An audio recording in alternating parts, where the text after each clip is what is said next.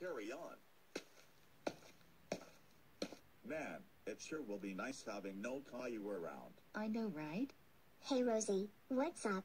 Oh, um, nothing Caillou, but why do you have a blowtorch in one hand and a can of gas in the other? Oh, uh, because reasons. You'll see why in a few seconds. Ha ha ha ha ha ha ha. Hey, Caillou, what are you doing?